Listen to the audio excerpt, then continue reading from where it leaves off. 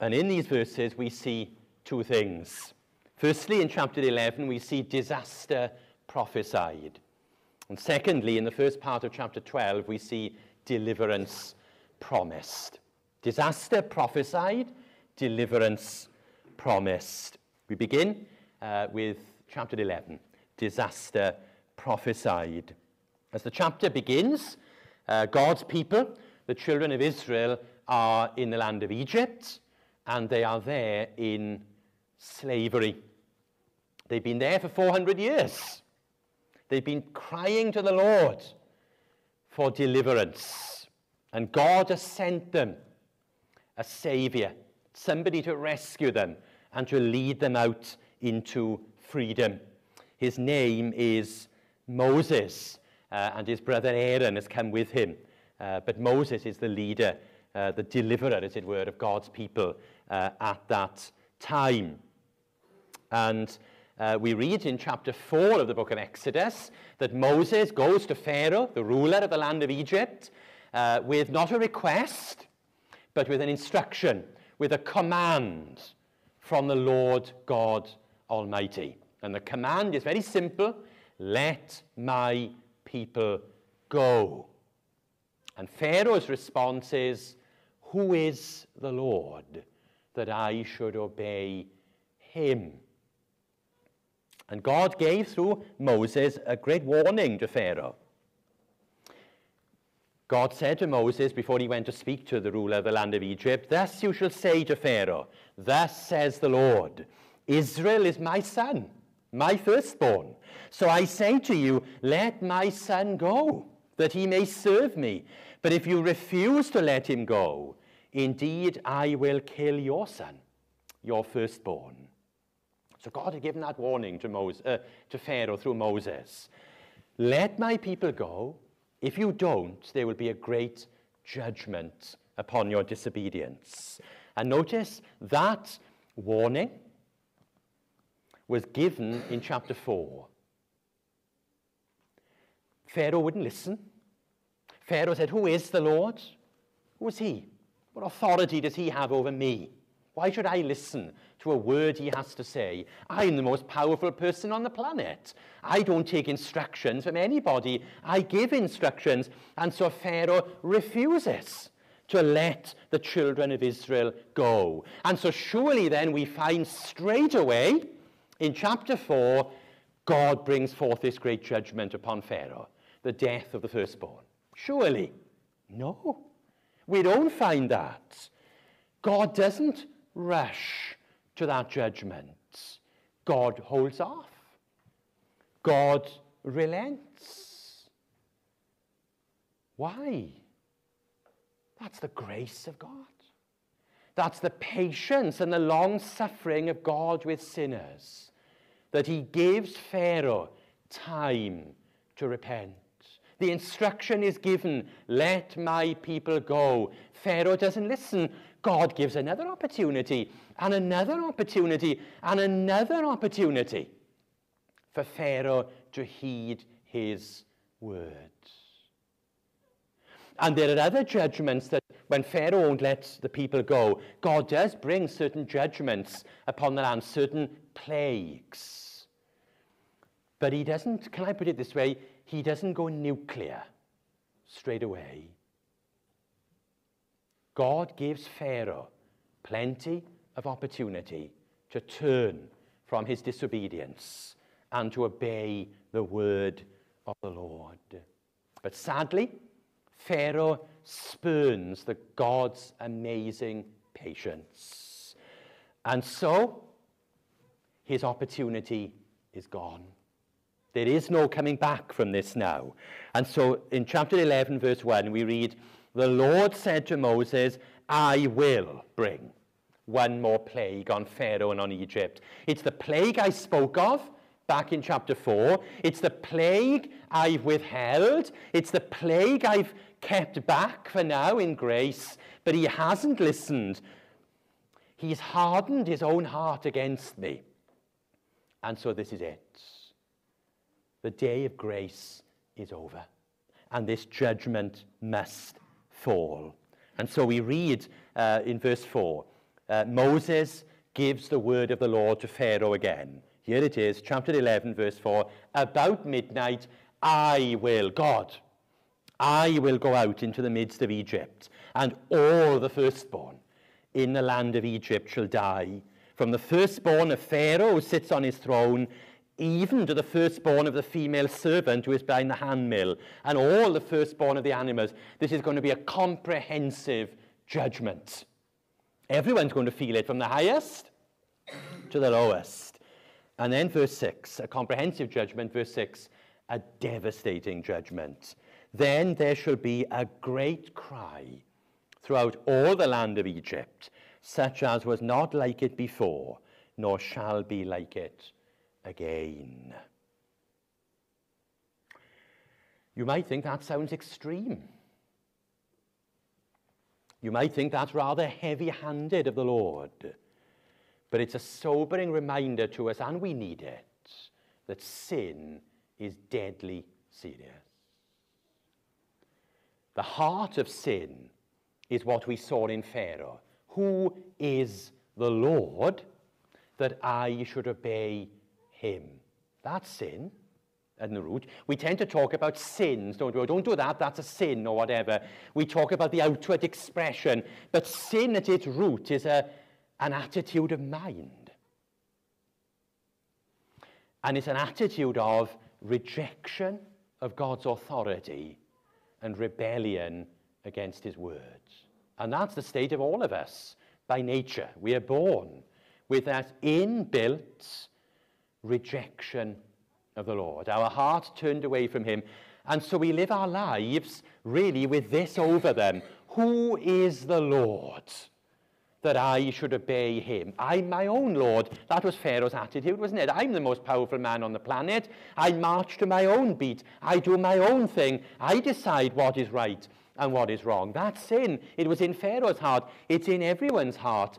And it's a, a wretched thing in the sight of the Lord who created us who gave us the life we have that we use to reject him. And the God who in common grace gives us all things richly to enjoy. And we say, get away from me. In a sense, by nature, we're all Christ crucifiers. We all, in our hearts, send Jesus to the cross. We don't want this king to rule over us. Away with him. We have no king but ourselves. Sin is a wretched thing. And I think if there's one thing perhaps we need as churches, it is a fresh understanding of the sinfulness of sin. Puritans, I think, talked about the loathsomeness of sin. And we see it in an incident like this, how serious it is.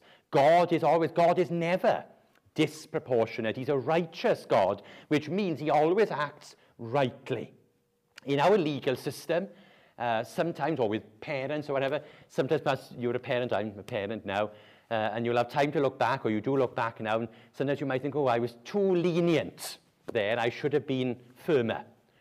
Or there may be an occasion when you look back and think, I was too firm there. I came down too hard and heavy. God is always proportionate in his response. And so the fact that this should be the proportionate response is a reminder of the seriousness of the crime. And what happened that night in the land of Egypt? Death, wasn't it? Death to the firstborn. And that is the penalty for sin. That is the judgment. That is the expression of God's wrath. It is the coming of death. And what happened that night in the land of Egypt was a real historical event. Uh, but it was also a picture. It was a metaphor, a real historical event, which served as a metaphor. Because what happened that night was a foretaste of another day when God will bring judgment upon those who reject him, on those who say in their heart, like Pharaoh, Who is the Lord that I should obey him.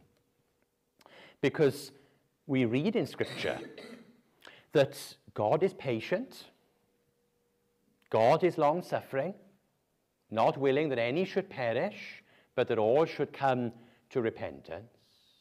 And so here we are. And if we're Christians here today, we get on our knees and say, Thank you, Lord, that you were patient. Thank you, Lord, that you didn't go nuclear at the very beginning. Thank you, Lord, that you gave me opportunity to repent. And the Lord does. And perhaps you're not a Christian here this morning, and God is being gloriously patient with you. Because here you are sitting perhaps, and in your heart, even as I preach, you're saying, I, I don't want this. I don't want to listen to this, Lord. I don't want to believe that His word has authority over my life. And God is patient.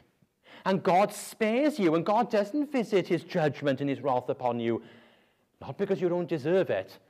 I deserved it. We all deserve it. But because He is long suffering.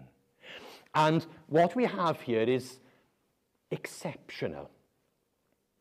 Because normally God doesn't work in this way. The Bible tells us, Paul tells us in Romans, that God stores up his wrath against sinners, those who rebel against him, for a day yet to come. There will be a day of reckoning. There is a day when God deals with sin in those who have rejected him. We call it the day of the Lord or the day of judgment. And then everyone will appear before him. And those who have, like Pharaoh, continued to their last breath, to have said in their heart and to demonstrated it with their life, Who is the Lord? Why should I listen to a word he has to say? Rather, he should listen to what I've got to say and let me sit in judgment on him. All who continue with that attitude to their dying breath, to their last moment, will appear before him for this judgment of eternal death in hell. God stores that up, and that day is coming. That day is coming. We don't know when. But Paul, when preaching in Acts 17, said this to, to the congregation, to the philosophers on Mars Hill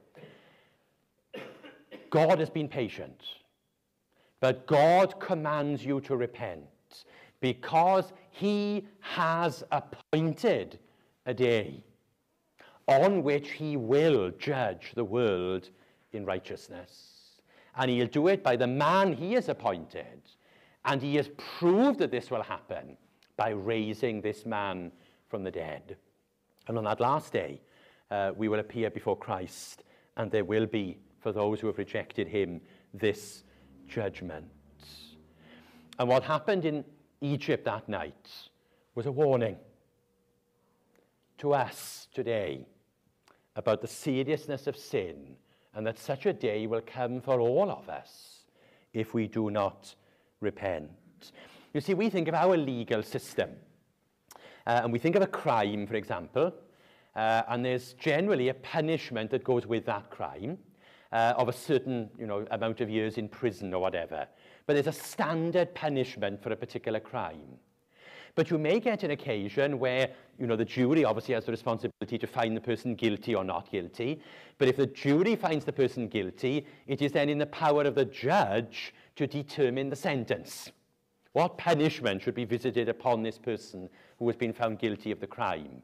And you may have an occasion where the judge says, now normally this sentence is given for this crime, but today I'm going to make an exception because I need to make an example of this individual. Because perhaps the crime that they've been found guilty of, people have grown rather indifferent to it and they don't think much of it.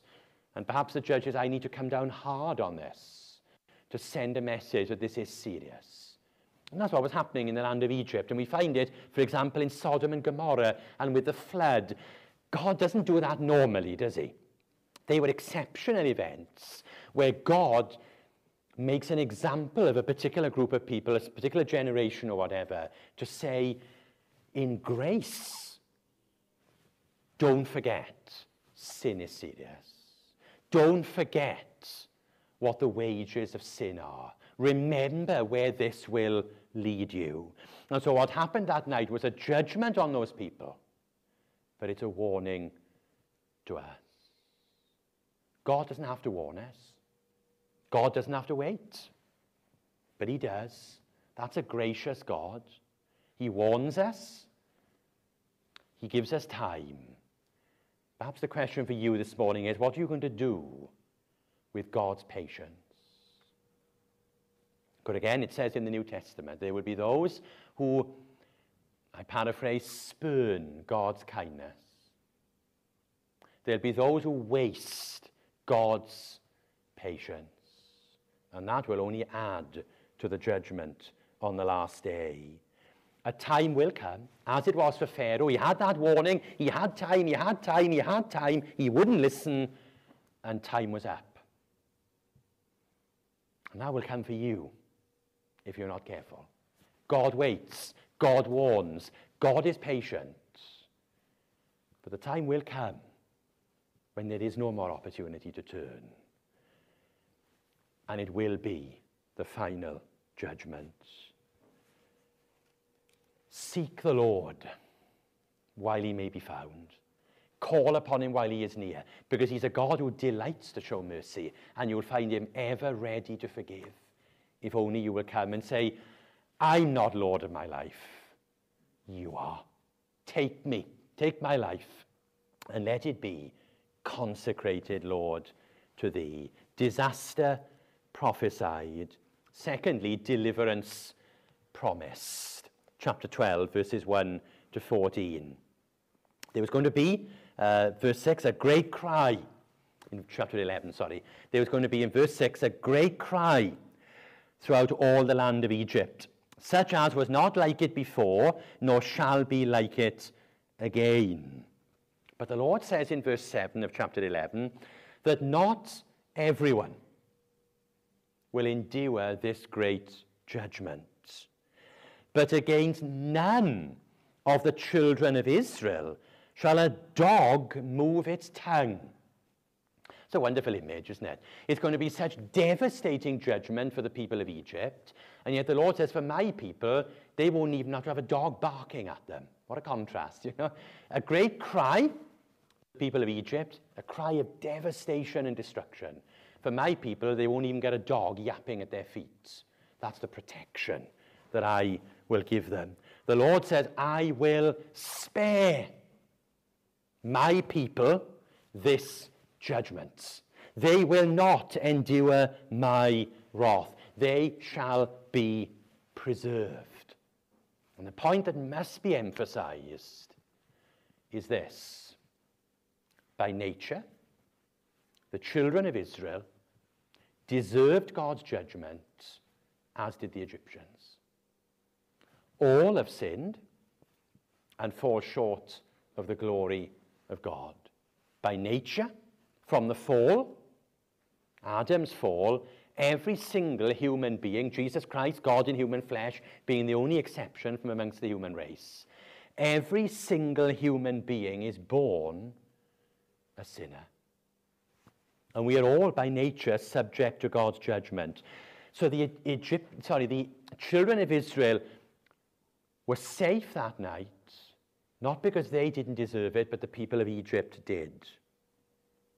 They were safe that night because of God's sovereign grace.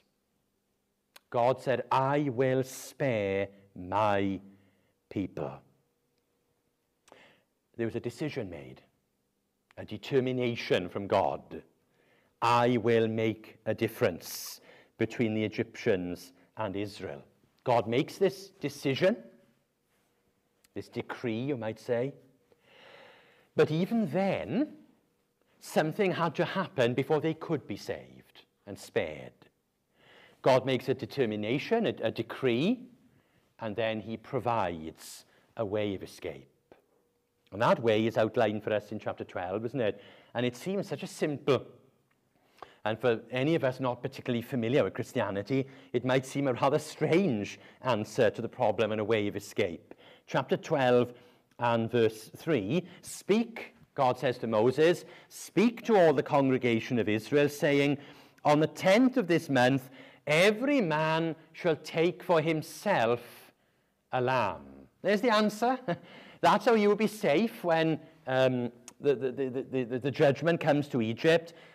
You'll be safe because you've taken a lamb. Well, that lamb had to fulfill certain criteria, didn't it? It had to meet certain conditions. Uh, firstly, in verse 5 of chapter 12, the lamb had to be spotless, perfect, no defect or um, uh, deformity in any way. Your lamb shall be without blemish. So it had to be a perfect lamb. Secondly, that lamb had to be killed. Any old lamb, no good. A perfect lamb. A perfect lamb alive, no good. We read verse uh, 6 You shall keep this lamb, this spotless lamb that you've preserved, you shall keep it until the 14th day of the same month. Then the whole assembly of the congregation of Israel shall kill it at twilight. Why? Why would they have to kill it? Why would a, a lamb alive not be good enough? Well, what was the judgment going to be?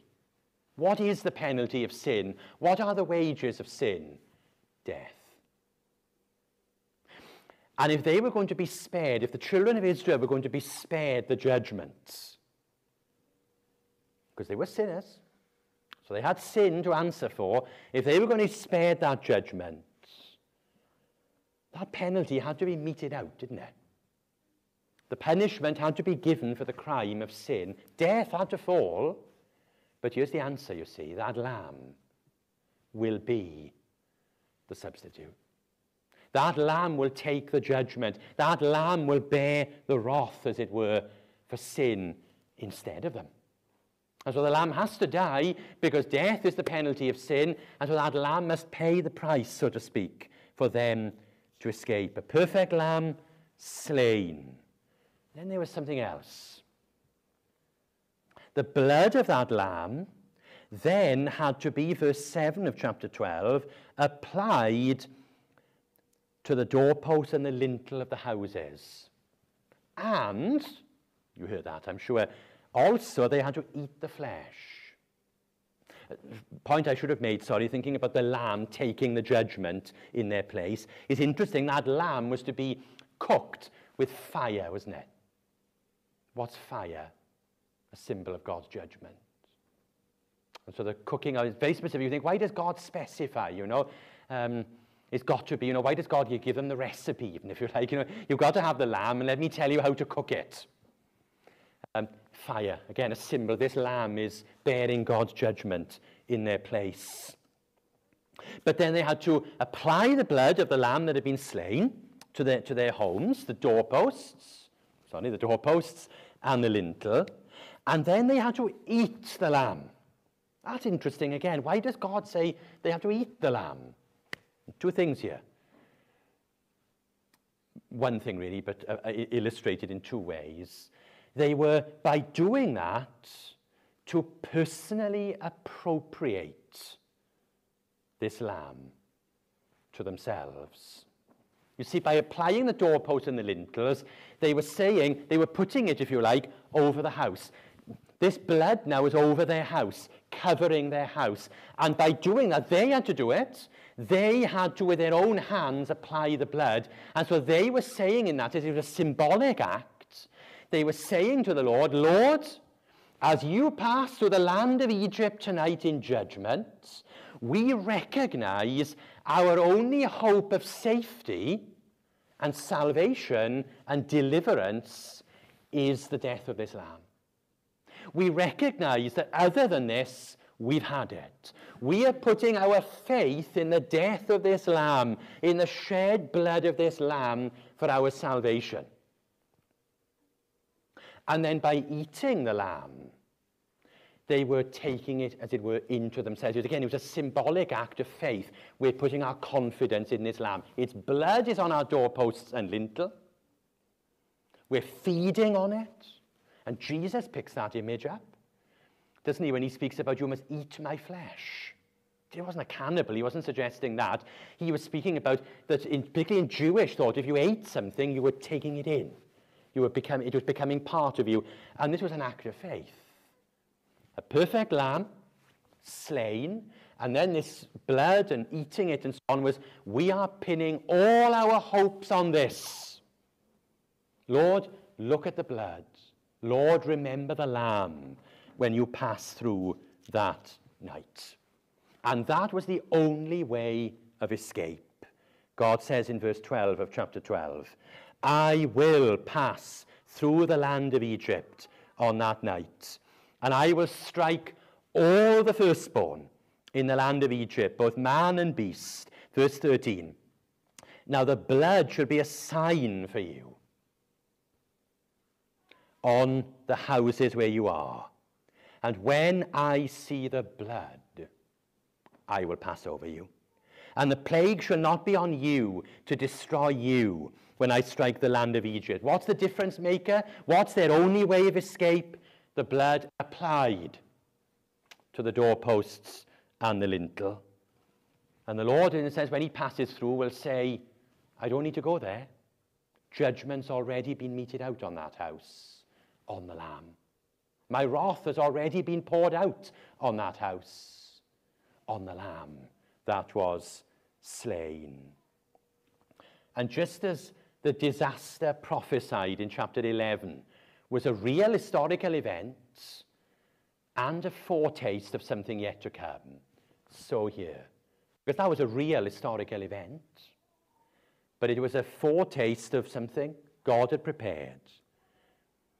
And it's why I gave the title, I don't know if the title came up earlier, it's why I gave the title to the sermon, Christ, our Passover.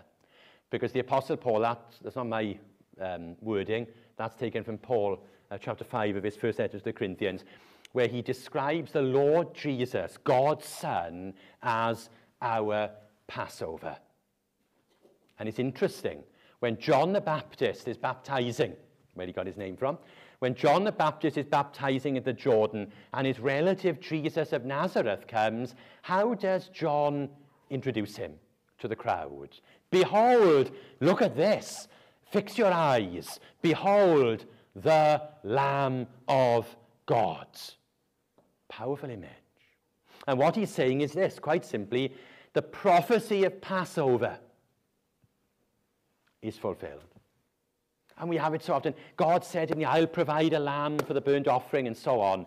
And all this, the incident here, the sacrificial system with Moses, what happened with Abraham and Isaac on Mount Moriah, and so on, all that was God telling his people, preparing the way for another lamb, a metaphorical lamb who would come and bear the judgment forever, the full final judgment against the sin of his people on their behalf.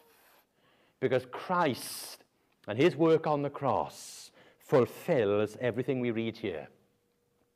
What did that lamb have to be? If the people were going to be saved, they needed a lamb to represent them. They needed a lamb to take the punishment in their place. Jesus Christ is the lamb, says John. But what kind of lamb was he? Not just any old lamb would do. It had to be a perfect lamb. And how does Peter, in his first letter, describe Jesus Christ? A lamb without blemish and without defect. It's a deliberate reference to Exodus 12. Jesus is that Passover lamb, spotless, the only member of the human race who's not subject to judgment by nature. The only member of the human race who has no sin. Perfect spotless, the only one qualified to be our Savior. That's why Christmas is such a big deal. Because if Christmas had never happened, we would have no hope. Because He's the only one. The hope of all the world rests on this man. And praise God, He came spotless. That's why it's so important that the scriptures emphasize His sinlessness because one sin would have disqualified him. Praise God, there wasn't one. And that lamb, Jesus Christ, oh, as perfect as he was, and he was perfect, as wonderful as his teaching was, as marvelous as his miracles were, a Jesus who stayed alive and then was taken up to heaven would have been no good for us. Because we needed someone to pay the price of sin for us, and the price of sin is death. And so Jesus Christ died. His blood was shed. It's a question for us. We have the Lamb. He is spotless. He's been uh, slain. His blood has been shed. Have you done the equivalent of verses 7 and 8? I'm not speaking literally here now. But have you applied his blood to your soul? Have you fed on this lamb? What I mean quite simply is have you put all your confidence, all your faith, all your trust in him as your Savior? Have you said, Lord, you've provided the lamb because it was God's way of escape? The, the Israelites didn't come up with this themselves, did they? They didn't say, Lord, we know you're going to come through the land of Egypt tonight, so we've come up with a way that perhaps would keep us alive. And God says, let me have a look at it. Yeah, okay, I'll do that. No, this was God's idea. This was God's way and the only way. And so Jesus Christ and his death at the cross is God's way and it's the only way. Have we responded to that? Have we said, Lord, I believe that you will rightly visit judgment on your enemies? And Lord, I've come to see, and I'd rather I hadn't, but in a way I'm glad I have. I've come to see that that's what I am. I've come to see my heart. Oh, it's a big thing in our culture today, isn't it? Find yourself. Tell you where we find ourselves is in the conviction of sin. That's where we see ourselves. And you say, Lord, this is my heart. And Lord, when you visit judgment, I've no hope, Lord, but I've heard of a way. I've heard of a Savior. I've heard of a Lamb. And Lord, I can hardly believe that you would ever forgive me.